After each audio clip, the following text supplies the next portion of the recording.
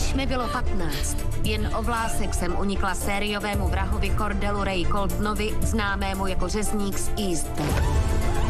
Někdo zabil Seru Eletovou. Cože? Jako řezník z East Bay. Takže za vším si ty, co? Ne, je to jen obyčejný napodobitel. Chci, abys ho porazila stejně, jako si porazila mě. Vražedné svody. Premiéra v sobotu večer na Prima